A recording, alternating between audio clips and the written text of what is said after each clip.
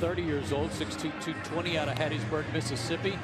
Has pitched well against his old ball club in his own right. Double play ball. And the Braves turn it nicely. Maholm gets the ball on the ground in the opening inning. Two outs. Paul changed his arm angle and Walker swung and missed. Uh, Swing and a miss on a ball in the dirt. Gattis pounces on that and makes a perfect throw to first. Second strikeout for Maholm. Did he go? Yes, he did. Maholm gets the call. One out. He's making Barmes wait now. And struck him out on a ball in the dirt. This is the pitcher, but great work so far. Strike three called. Wow. Paul Maholm.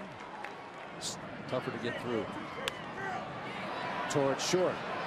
Pena the turn. And Maholm gets a much needed double play to end the inning.